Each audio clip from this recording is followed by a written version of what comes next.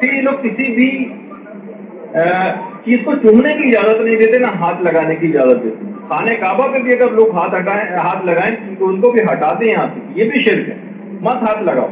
बल्कि ज़ोर ज़ोर से अक्सर हमने देखा है कि काबे की दीवार पर हाथ के कहते सिर्फ़ पत्थर और मिट्टी का बने हुई चीज़ तो क्या तुम लोग जो पूज रहे हो अगर तो बहरहाल, ये आम मुसलमानों के हवाले से, न, देखिए जैसे हमारे यहाँ जो जरियों को चूमा भी जाता है, दरवाजों को भी चूमा जाता है इसमें क्या, कौन सी ऐसी चीज़ है? किसी जो है वो जरी के ऊपर किसी जगह या खाने काबों पे सर लगाने की भी जो है किसी को जो है इजाज़त नहीं मिलती। हालाँकि सब चीज़ें कहा तो ये है, इतनी ममानियत, इतनी मुकदस चीज़ों को चूमने की इजाज़त नहीं, और कहा हम देखते हैं कि यहूद नसारा के साथ जो है ऐसा सलूक हो रहा है। तो ये भी बात जो है वो समझ में नहीं आती कि ये इतनी ज़्यादा इस सिलसिले में दो रंगी क्यों अच्छा अब ये है कि ना वहाँ पर सर रखने देते हैं, ना वहाँ पर दुआएँ मांगने देते हैं, हालाँकि सब चीज़ें इस्लाम में जाए। थी और इबन माजा की रिवायत से बाकायदा है कि हज़रत बिलाल के मुतालिक और महाज इबन जबल के मुतालिक के वो रोते हुए कब्र रसूल पर आए और अपने चेहरे को कब्र रसूल से आकर रगड़ा बाकायदा सुनन इबन माजा की दूसरी जिल में हदीस नंबर तेरह सौ बीस। उसमें बाकायदा ये बात कही गई।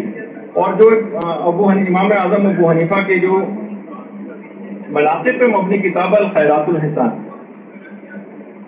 उसमें भी ये बात है, और जो उनकी किताब रसुल मुख्तार है, इसमें भी है ये बात कि इमाम शाफी फरमाते जब भी मुझे कोई मुश्किल पेश आती थी, मैं मैं मैं अबू हनीफा की कबर पर जाकर दुआ मांगा करता था।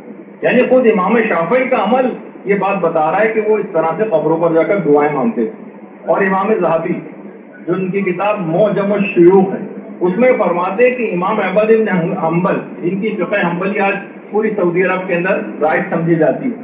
वो इमाम अहमद इब्न हम्बल न सिर्फ़ कब्र को चूमने को जायज़ करार देते थे, छूने को जायज़ करार देते थे, वहाँ पर दुआ करने को जायज़ करार देते थे, तमाम तबरुकात का एहतराम करने को जायज़ करार देते थे और अपने, उनके खुद बेटे कहते हैं इमाम अहमद इब्न हम्बल कि वो खुद इमाम अहमद इब्न हम्बल फरमाते थे कि रसूल अल्लाह के जो असहाब थे, वो डायरेक्टली रसूल को अपनी आँखों से देखते थे। बरहरास रसूल अल्लाह की मौजूदगी से बरकत हासिल करते थे। बरहरास रसूल के दोनों हाथों के बोसे लेते थे। दोनों हाथों के बोसे लेने में, उनकी सबकत ले जाने में आपस में झगड़ा किया करते थे। पैगंबर इस्लाम के वज़ू को पानी गिरने नहीं देते थे। उनका लुआब दहन दहन मुबारक जो है अपने चेहरे पर मलते थे। हमें ये सब खुशकस्मती हासिल नहीं। तो हम खुद को कुछ हासिल नहीं तो हम क्या करें? हम खुद को कब्र रसूल पर गिरा देते हैं, उनकी कब्रों के बोसे लेते हैं। जो हमसे मुमकिन हो सकता है, हम वो करते हैं, हम उससे तबादा कर लेते हैं जो हमें मुयसर है। तो क्या है? इसमें क्या कबाहत है पैगंबर खुद होते तो हम वो शरफ इनसे हासिल करते हैं, जो पैगंबर हमारे दरमियान में नहीं है। हम उनके कब्र पे जाकर उनसे जो मनसूख चीज़ें, उनका बोसा ले लेते उसमें कौन सी हराम वाली बात? जो मिलता है कि जो ताबईन थे, जो रसूल अल्लाह के दौर में बाद में आए, जो असाब तक मौजूद थे, बहुत से ताबईन रसूल अल्लाह के असाब के हाथों को चूमा करते थे। और कहते हैं, ये वो हाथ है जो पैगंबर खुदा के हाथ से मस हो चुका है। इस वजह से चूमते थे। यानी रसूल अल्लाह से अपनी मोहब्बत का इजहार करते थे। यानी वो रसूल जो कि हम हमें अपनी जान से, अपनी माल से, अपने माँ बाप से और अपनी औलाद से भी बढ़कर हम जिससे मोहब्बत करते हैं। क्या उसकी मोहब्बत किसी इजहार का तकाजा नहीं करती? खुद इमाम अहमद इबन अहमद के बेटे फरमाते हैं मैं देखता था कि हमारे वालिद जो है, वो रसूल उनके पास रसूल खुदा का एक मुँह मुबारक था, उनका एक बाल। वो इस हद तक इमाम अहमद इब्न हम्बल उस मुबारक बाल का इतना एहतराम करते थे, उसके बोसे लेते थे, उसको आँखों से लगाते थे, उसको पानी में डूबोकर उसका पानी पीते थे। रसूलुल्लाह का प्याला उनके पास मौजूद था। उस प्याले के अंदर पानी पीते थे, उस प्याले के अंदर पानी डालकर अपने चेहरे के ऊपर छिड़कते थे बरकत के लिए। बाकायदा फतावा रजाविया में अहमद रजा खान बरेलवी ने उन तमाम आप तमाम हवालों से सब चीज़ें तहरीर फरमाई।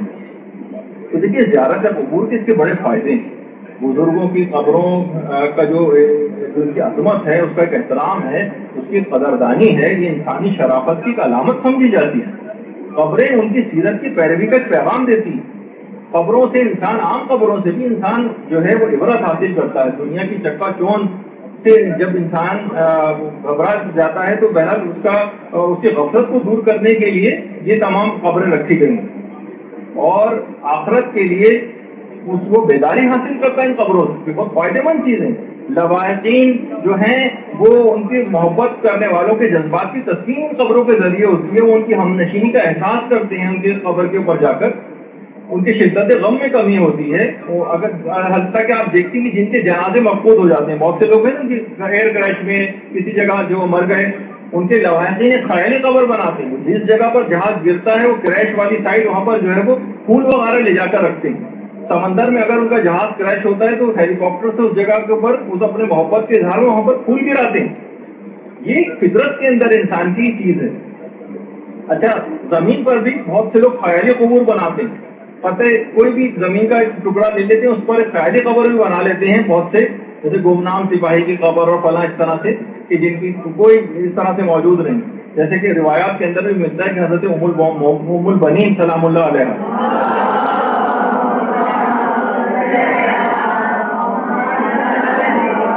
चारों बेटे वाक़ करबला में शहीद हो गए थे तो मदीने, क्योंकि मदीने में थी वो वाक़ करबला में हज़रत उमुल बनीन मौजूद नहीं थी।